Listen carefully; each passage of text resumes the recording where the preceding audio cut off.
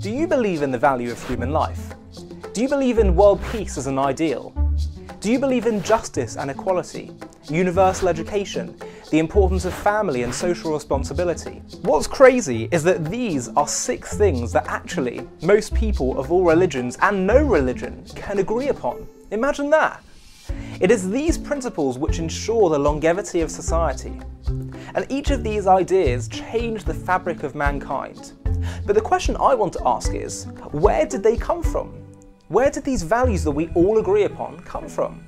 We are told that much of modern civilization stems from the Romans and the Greeks, who were undoubtedly innovators of much of what we know today. But did they propagate these key values? Historian Ken Spiro wrote a book exploring these issues called World Perfect, but for now let's just touch on some of them to explore which culture these values were first derived from. Number one, the value of human life. Now, it cannot be argued that either Greece or Rome valued human life at all. Most ancient civilizations were known for practicing infanticide for population control. Sex selection or ridding society of deformed babies, for example, was common practice. Archaeologists in Ashkelon excavated ruins of Roman bathhouses, where they discovered remains of a hundred newborns. The clearest illustration of disregard for human life was the killing of people entertainment. The Romans used women, children, and blind people to be killed by the gladiators purely for the sake of sport and entertainment. Number two, world peace as an ideal. Today, peace is considered a major part of an ideal world. But in ancient societies like Rome, war and warriors were glorified and peace was only desirable once all one's neighbours had been subdued.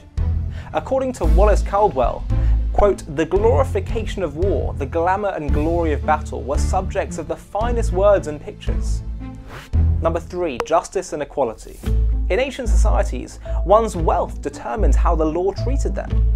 In many, noblemen practiced a concept called droit de seigneur, or the right of the lord, where a lord would take a peasant's bride on her wedding night and have the legal right to rape her. Even in Greece, where democracy began, only a few thousand of the several hundred thousand people who populated Athens had the right to vote. Inequality of treatment was always endorsed in the name of, quote, justice. Number four, universal education. Historians write that the literacy rates in Greece and Rome were roughly between 10% to 15%. The ruling majority and those high up the aristocratic system were educated, but the focus of the average peasant was merely making the daily bread.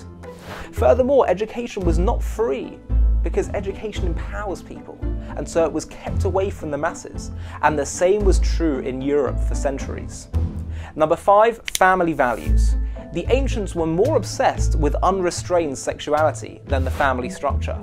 The creation story of most religions began with the deities engaging in sexual activity, and pederasty, a sexual relationship between an adult man and a boy, was quite common in antiquity. In fact, in Greek civilization, it was the highest form of love, and Plato described it as, quote, the greatest blessing. Women were also always degraded. And finally, number six, social responsibility. If these ancient cultures showed disregard for the value of life or justice and equality, they certainly did not recognise the importance of social responsibility, taking care of all parts of society. There existed no concept of taking care for the weakest members of society. If you lived in poor social conditions, the government was not going to help you. The argument that I would like to present to you is that these six values were first articulated, were first derived from the Torah, from the Jewish people 3,000 years ago. Let's go through them quickly. Number one, the value of life. The principle of life having intrinsic value was first brought to the surface by Judaism, in which the sanctity of life is among one of the most fundamental concepts. Human sacrifice, infanticide, and killing for sport are all absolutely forbidden. The Torah permits nearly all the commandments to be violated in order to save a life. The Talmud says, quote, He who destroys a life it's as if he's destroyed an entire universe. This statement was made 2,000 years ago by the Talmudic sages, while the Romans were killing thousands of people for fun. Number two, peace. The vision of humanity living in peace, and that peace is an inherently higher level of existence than war, derives from the Torah. Jewish scriptures make statements, quote, the Torah was given to mankind in order to establish peace. And the only reason God created the world was, quote, so that there would be peace among creation. Outside the United Nations in Manhattan, they have a wall with a quote from Isaiah embodying the Jewish vision of world peace. Quote, shall not live sword against nation, neither shall they learn war anymore. Even the UN recognizes where this vision came from, where this vision was first articulated. Number three, justice and equality. The notion of equality before the law is a Jewish obsession. Ancient Israel was a sophisticated system of government with checks and balances and division of powers. The king was subject to the law, and judges were held to account carefully. The requirement for a judge to act fairly without any bribery is clearly stated. Quote, You shall not respect the person of the poor, nor honour the wealthy person, but in righteousness you shall judge your neighbour. Indeed, if you look at the four great political revolutions in the Enlightenment era, two of them ended in blood and tyranny, the Russian and French revolutions, and two of them led to liberal democracies, Britain and America. Two were grounded in atheism, and two were grounded in Judeo Christian values.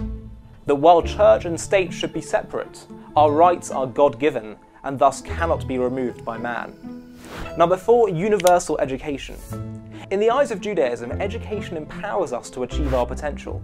No city in the Jewish diaspora lacked a Jewish school. French medieval monk Peter Abelard wrote, quote, A Jew, however poor, even if he had ten sons, would put them all to letters. Not only his sons, but his daughters. Jewish literacy in the medieval era was over 90%, while throughout the rest of Christian Europe, it was under 10%. The Catholic Church even prevented the mass distribution of Bibles to prevent the masses from becoming educated and empowered.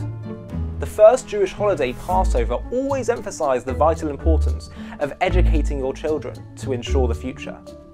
Number five, family values. A strong family is among the most crucial elements in the Jewish faith.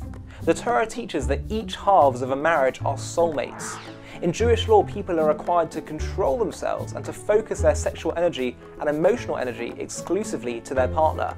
And they're required to love and respect their partner. And if they don't, this can be grounds for divorce. When Judaism demanded that all sexual activity be channeled into marriage, it changed the world. And finally, number six social responsibility. Everyone is responsible for society. That's the Jewish view. Judaism mandates that all people give to charity, visit the sick, care for animals, provide dignity for workers, and more. Thomas Huxley wrote, quote, The Bible has been the Magna Carta of the poor and oppressed. Down to modern times, no state has had a constitution which the interests of the people are so largely taken into account. I think it's because Jews believed in one God that they were able to lay down universal principles that would apply to all of humankind. It was the Hebrew Bible that was responsible for these six values becoming accepted through the world. Think about it. The majority of the world today accepts these principles of Abrahamic monotheism through either Islam or Christianity.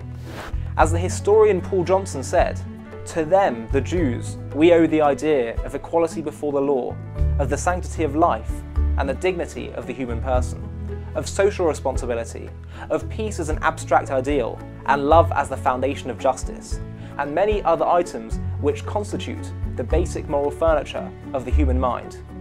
Without the Jews, the world might have been a much emptier place. I'm Ollie Anisfeld, and you're watching JTV.